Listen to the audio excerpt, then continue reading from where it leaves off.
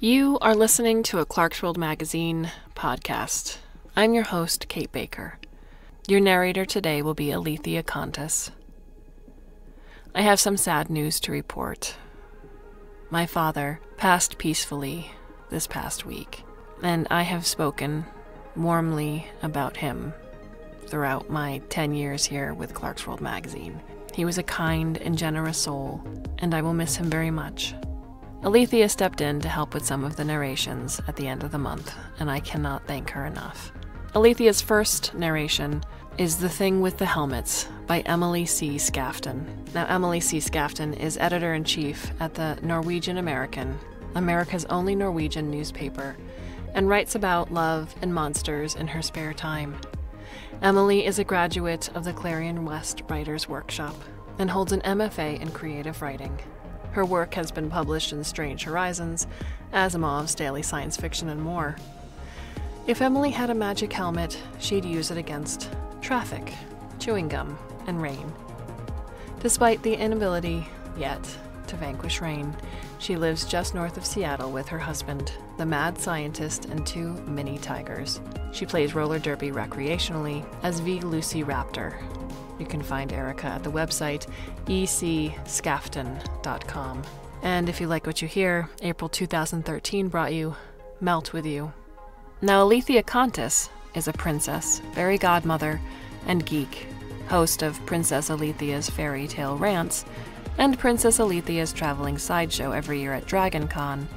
Alethea also narrates for ACX, IGMS, Escape Pod, Pseudopod, Cast of Wonders, and now Clarkesworld.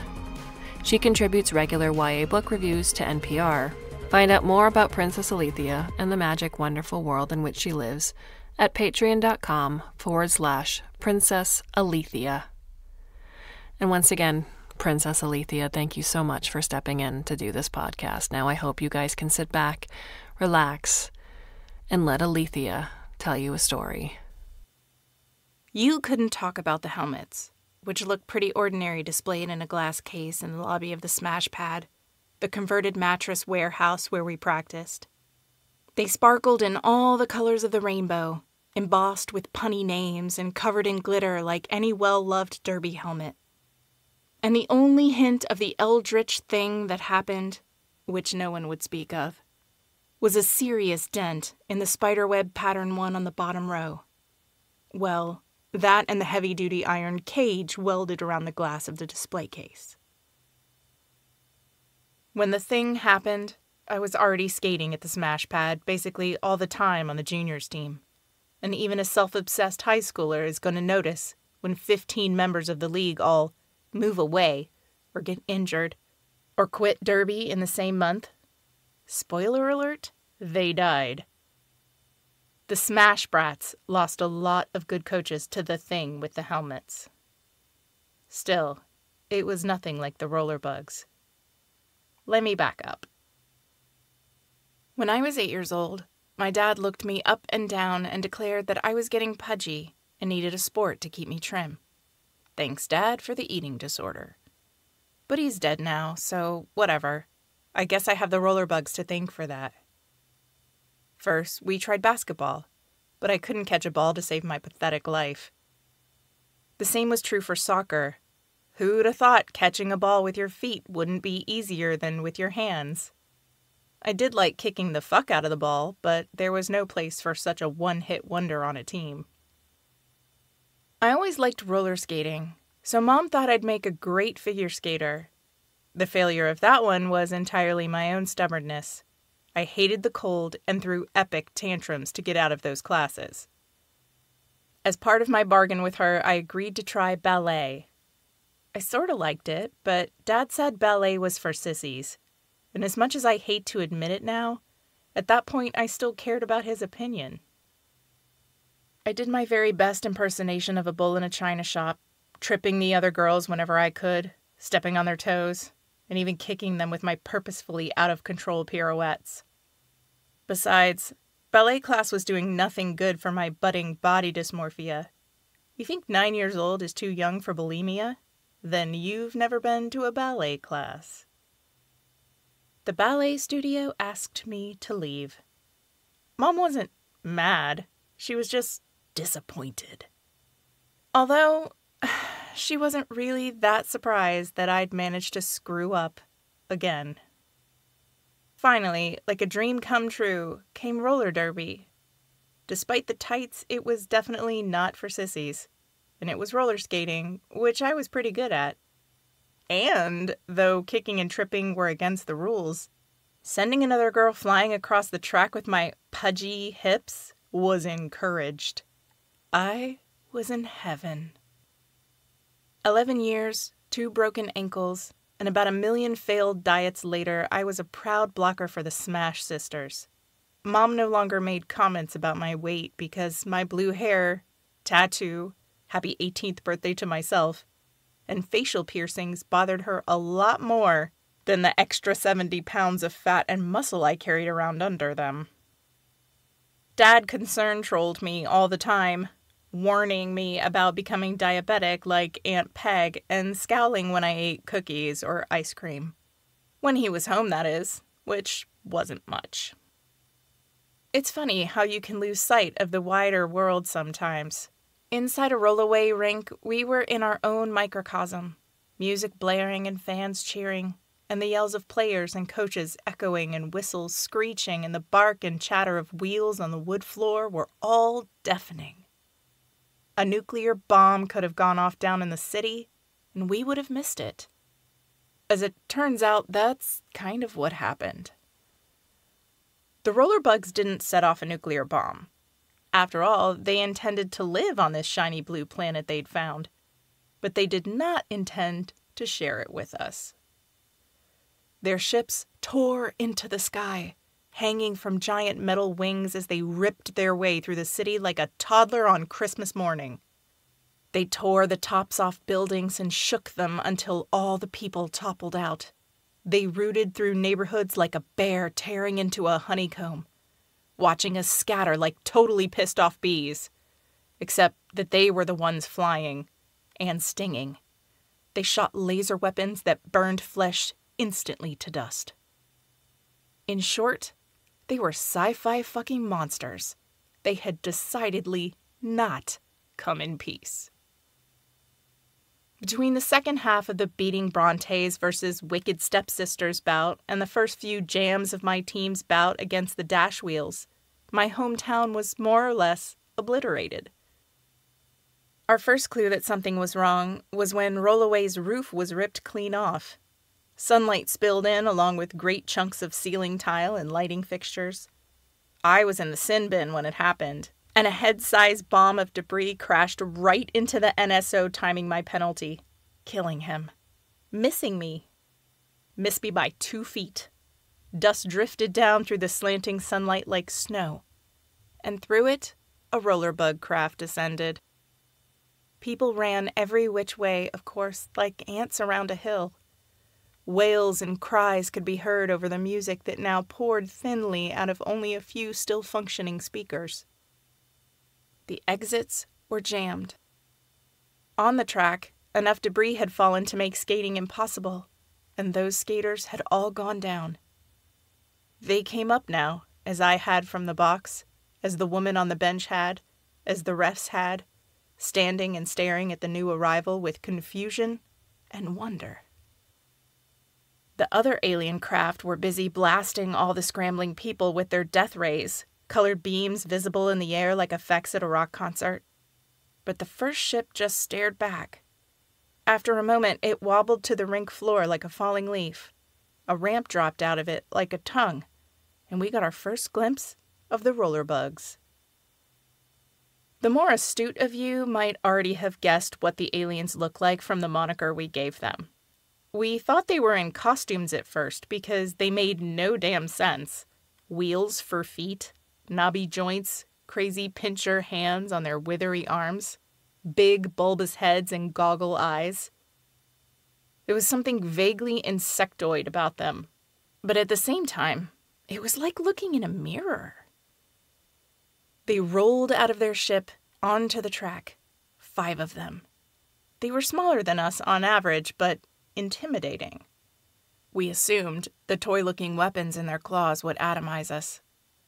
We stood there, mesmerized. We'd clumped together, we humans, but our curiosity, and theirs, was a bit stronger than our fear. Our team captain, Skara Thrace, picked her way forward until she was mere feet from the nearest rollerbug, who was also sidling toward us. Was Skara about to become the first ambassador from Earth to another species? Maybe that was why she did it. Maybe it was like taking your hat off for the national anthem. Skara pulled out her mouth guard and stashed it under her left bra strap. Then she unclasped her helmet and pulled it off. The rollerbug's reaction was instant. They jumped back as though startled, started squawking to each other in a cacophony of sharp sounds, and the weapon in that forwardmost alien hand fired. Skara rained down to the track with all the other particles of dust. We ran for it like scaredy chickens. What else could we do?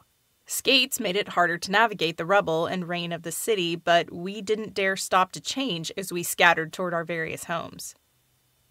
My home was kind of still there, the basement part anyway, and I found Mom hiding in it with neighbor Bruce and his two little kids, watching the end of the world on their phones. Thank all the gods I don't believe in that it was Mom's day off.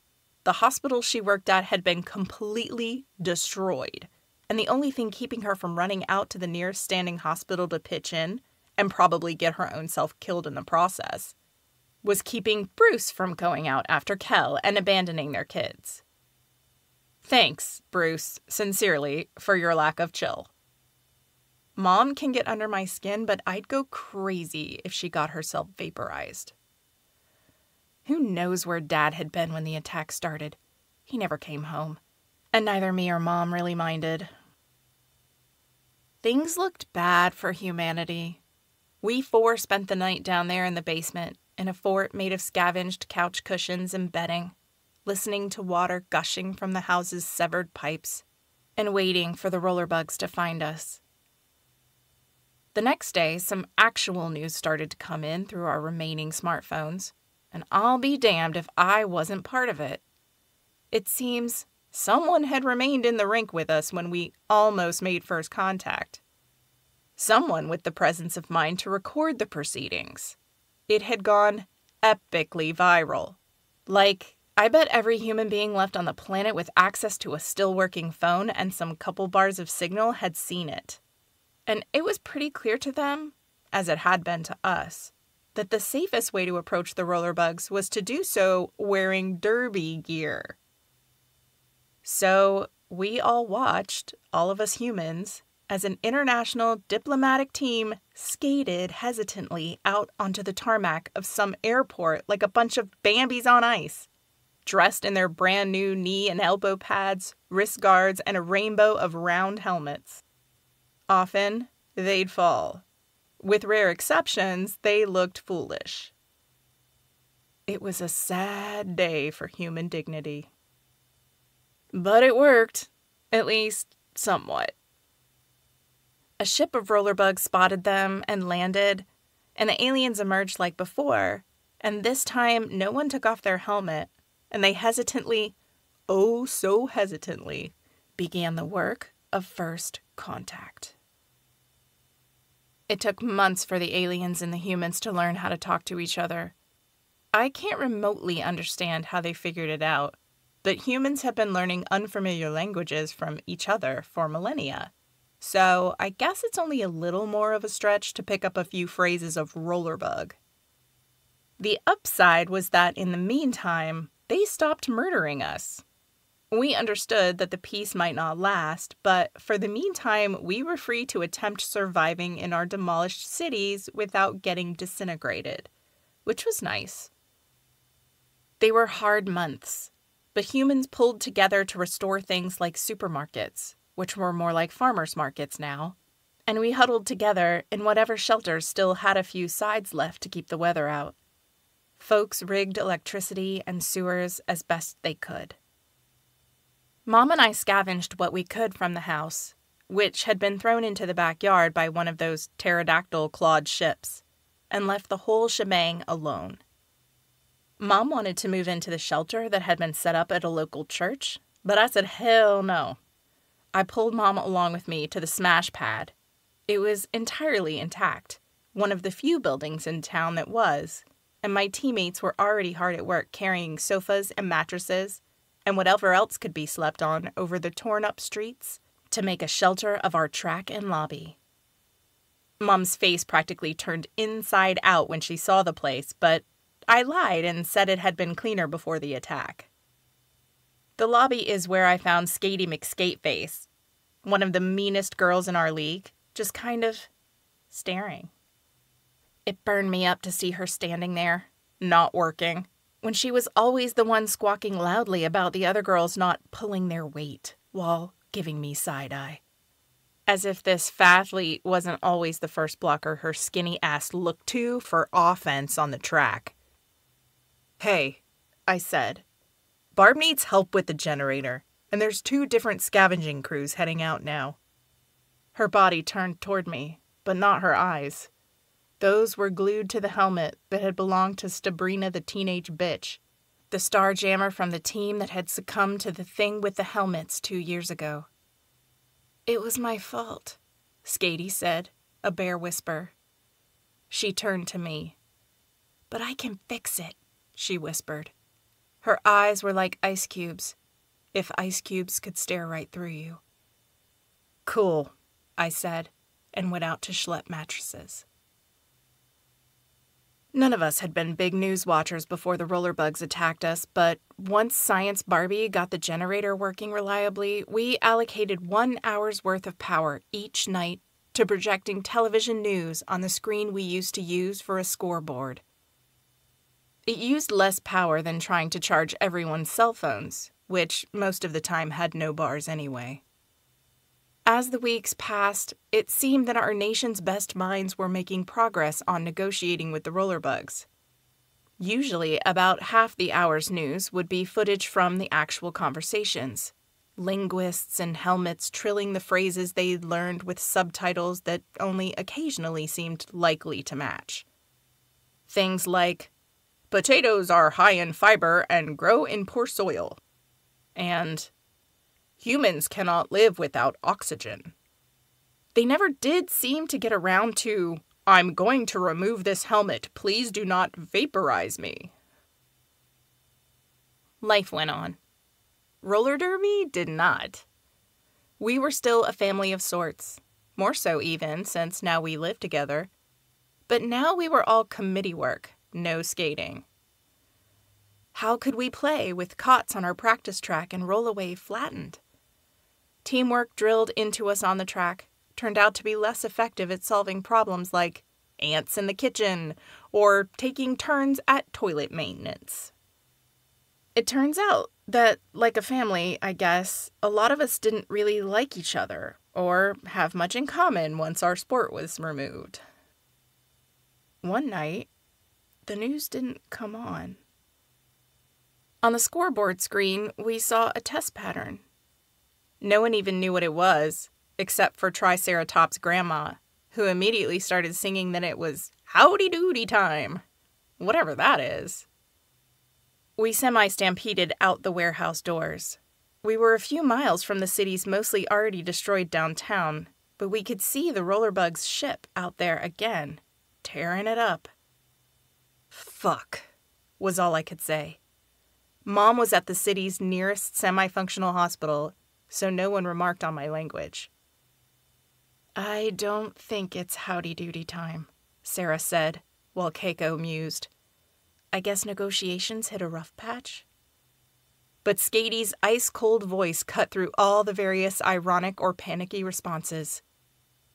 Get me the cutting torch, she said. Skatey was the one who, two years ago now, pulled the spellbook out of a box destined for the Smash Sisters rummage sale. But it was Stabrina who understood what it was. The glittery spiral bound notebook looked like something in which one of the Smash Sisters' little sisters would have written bad poetry about boys, or taken half ass chemistry notes while doodling cartoon faces. But when Skatey started reading from it, sounding out what she thought were nonsense syllables, Stabrina actually covered her mouth like someone in a movie. Even for people who rubbed their sweaty skin on each other in practice, pushing and pulling each other and accidentally copping all kinds of feels, that felt like a violation to Skatey. She licked Sabrina's palm. Sabrina pulled her hand away, and the notebook, too. Next time, use your words, Skatey said. Words. Right, Stabrina muttered, flipping through the sparkly notebook. We're not selling this. A used notebook? You're right, we're not. The rummage sale pulled in almost a grand for the league, but Skatey never knew where the money went. Maybe that's where the travel team's new helmets came from. None of the home teams had separate helmets just for bouting. And no one else had been invited to the decorating party in which they'd lovingly glittered up their new headgear. Skatey told herself they deserved it, pushing herself harder than ever in hopes of making the travel team. At first, everything was great. The travel team could not lose. Their walls were unbreakable, their jammers unstoppable, and it was almost like they could read each other's minds. They did it all without saying a word, and without laughing, or smiling, or sweating. Or maybe Stabrina was sweating a little. Anyway, her face looked odd. The bout was over. The team pulled their helmets off and, after a brief moment of blank confusion, finally shouted and hugged and laughed and cried out all the emotions they'd been holding in. That was the first time. By the penultimate game of the season, their faces started to look really weird. Had they painted them before the bout? Maybe their makeup was running, smearing, and that was why. They had no faces. Photographs from the bout confirmed it, showing nothing but uncanny holes in reality where their eyes and mouths should have been. The Smash Sisters photographer chose to believe it was a film error, despite shooting with digital. It took a lot longer that time for them to remove their helmets. Skatey went in to hug one of the blockers. She couldn't remember who it had been, if she had ever known. But the blocker dug low and drove her shoulder right into Skatey's sternum. Skatey tumbled onto her ass, breathless and gasping. When she managed to look up again, Carrie Barely was offering her a hand, while the other members of the travel team were chasing one of their jammers, quick as a bunny. Azza was quivering, juking her teammates like a thing possessed. She seemed to have more than four limbs, they moved so fast. And then she was gone. One last shout echoed through the smash pad, but the loudest sound in the world was Azza's now empty helmet clattering to the concrete floor. Azza's helmet was the leftmost one on the top shelf of the steel cage display cabinet that Skatey was now cutting into. Its glitter was two toned pink, a suggestion of bunny ears on either side. We remaining Smash Sisters gathered around Skatey, watching while not watching. Hello, cutting torch so we all looked either bored and restless with shifty gazes, or despondent with hands covering our eyes, or reverent, eyes downcast. The only one not covering her eyes was T. Ann Keiko Death, who stood behind Skatey, facing the rest of us. But they still had to make it through champs, she said. Of course, they all said they weren't going to wear the helmets, that the risk was too high. But during the first half of their wild card bout against some team who shouldn't have been at champs, Santa Fe or Albuquerque, someone interjected. There was a loud chunk as part of the cage gave way. Skatey moved the torch to a different bar. Whatever, anyway, they were getting creamed, so at halftime they put them on. And duh, they won. Fast forward to the final game of champs for the trophy, those poor refs. There aren't enough penalties in the rule book for the shit they were doing. Forget WFTDA, they were in violation of physics. I remember Stabrina just sort of phased through the other team's blockers and appeared on the other side.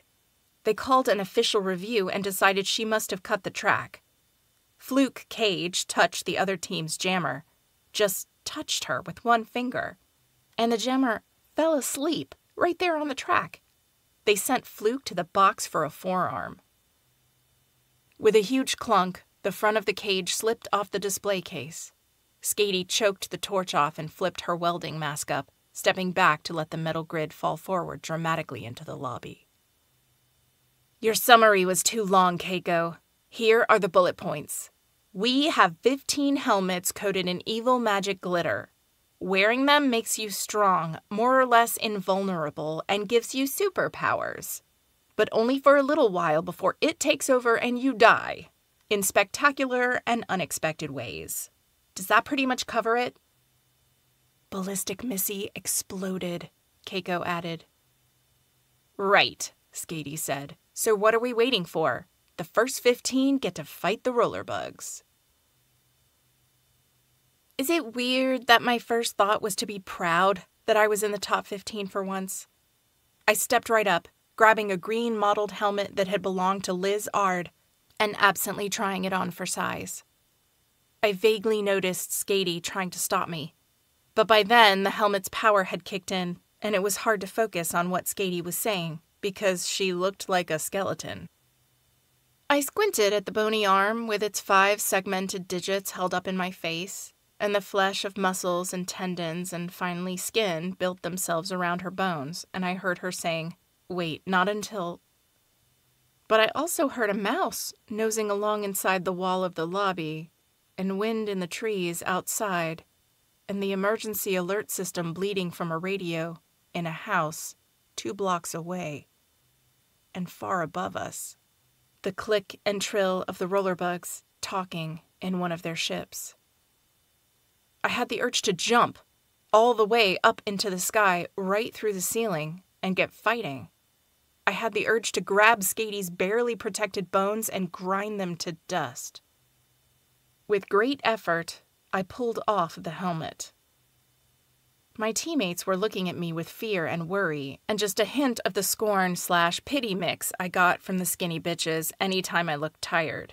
So I steadied myself, hiding a head rush bordering on migraine territory, and just said, Fits great. This one's mine. And then the lobby's windows exploded and a pair of roller bugs skittered into the smash pad. We fought. I had my helmet on in an instant, and that creepy x ray vision returned, but this time with like subtitles. It was like how I imagined being a killer robot would be. It was this info stream that told me the first rollerbug was about to fire her disintegration weapon at Skatey. But I guess she saw it too because she ducked her head like a charging bull, and the beam glanced harmlessly off her helmet. She tackled the first rollerbug so hard they both flew out the shattered windows. On the far side of her, Keiko phased out to avoid the second rollerbug's disintegration blast, phasing back in to clobber it and take its weapon. It twitched on the floor, but I could see its internal injuries, and a projection popped up that told me it would be terminated in 10, 9, 8. Meanwhile, Keiko darted out the shattered window in a blur.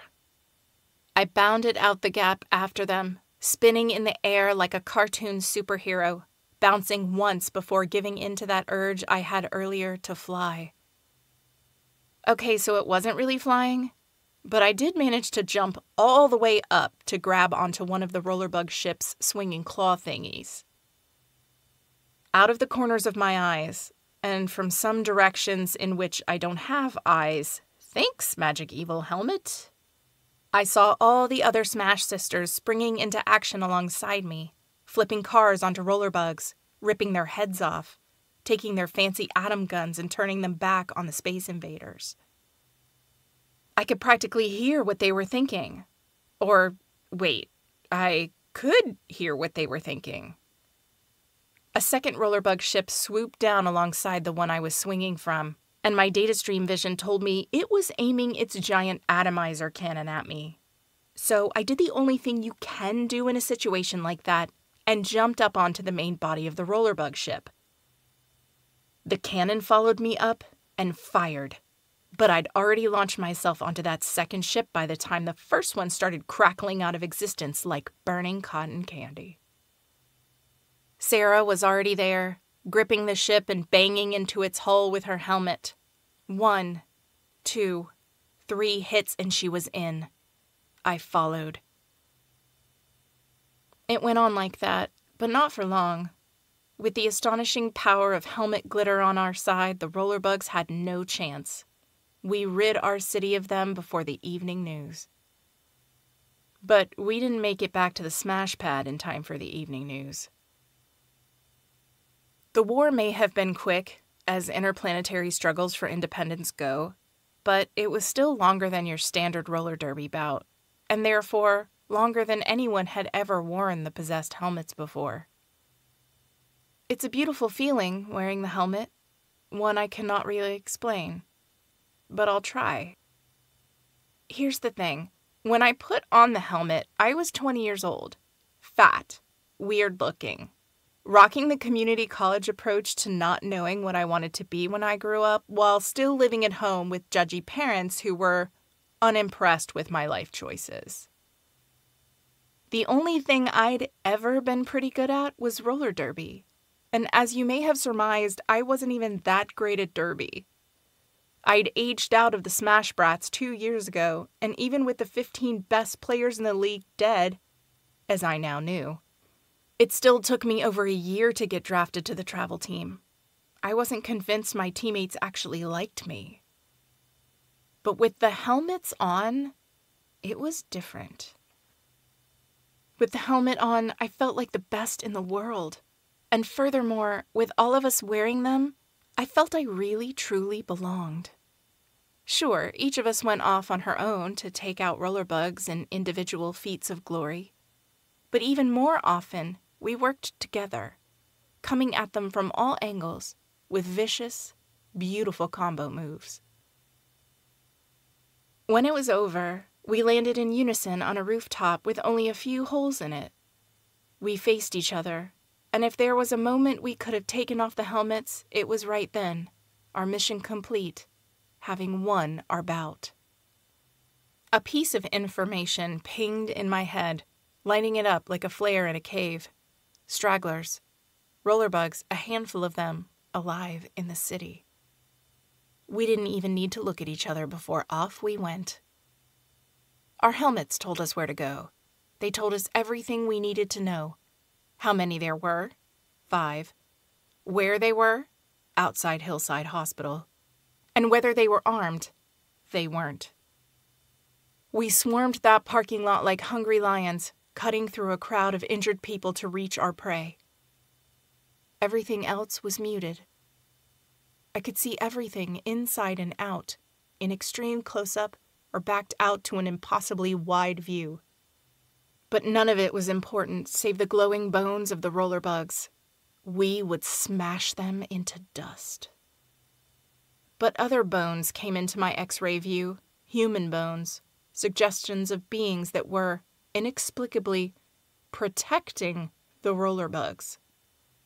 They said words to us in their human language, words like, not a threat, injured, help, but we were so far beyond human that we could hardly understand them. We had squad goals destroy, win. We broke into an offensive formation, screening and hitting our way through the blockers between us and those alien jammers. Nothing could stop us except Helga Prudence Syvertson. The syllables were familiar. They got inside my head like an itch. I blinked, looking at the bipedal form whose mouth had shaped them. It too was familiar. I blinked again. Bigger than the itch was the hum of my teammates, urging me on. We had each other, and needing nothing more, I kept going, through the squawking being. What is wrong with you? it said. And that, even more than the other syllables, was familiar. I recognized that as a question this being had asked me many times over many years. A question I had asked myself. Those words brought a kind of feelings pain. Nothing is wrong with you, my teammates seemed to say. The helmet seemed to say. And oh, oh, how I wanted to believe it. But as strong as the pull of camaraderie on me was, what is wrong with me pulled harder. The data feed slowed, my x ray vision got blurry. Flickering colors, the real world vision flickered colors. I heard a wail of mourning coming out of a mouth that was in my face. I reached my hands up to blot out that sound and found the buckle of a chin strap. Those hands, my hands, pressed into my face and up and up, and the pain was so intense I thought my head, my head, would explode. Ballistic Missy exploded. Keiko's voice in my head helpfully told me. And then it was all their voices, the whole team. And oh, they were so disappointed in me. And the pain. My head was ripping in two. I blacked out, luckily. But I vaguely remember hearing one last voice as I did. I'm so proud of you, it told me. She told me. The nurse. Mom. I don't actually know what happened to Skatey and Sarah and Keiko and Barbie and all the rest of them after I lost consciousness, because Mom won't tell me. She says I don't need to trouble myself with such ugliness, which of course just makes me want to know more. Did they kill those injured roller bugs? Did they explode? I never saw them again. All Mom will say over and over again is that she always knew those roller girls were a bad influence.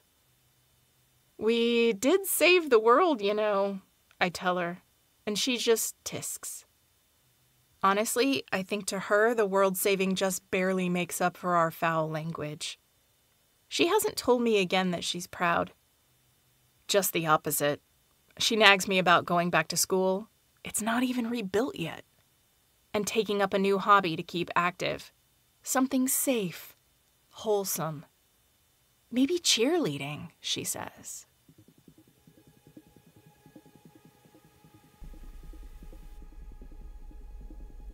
Thank you for joining us for this podcast, and my thanks again go out to Alethea Kontis. As always, we invite your thoughts over at Clarkesworld Magazine, so please leave a comment or a question on the stories themselves or you can go to the About page where all of our contact information is listed. We have two more short stories for you for the month of March, which will also be narrated by Alethea. So I hope you can come back and listen, if you so should choose. And until then, I bid you a very fond and warm, and hopefully very temporary farewell.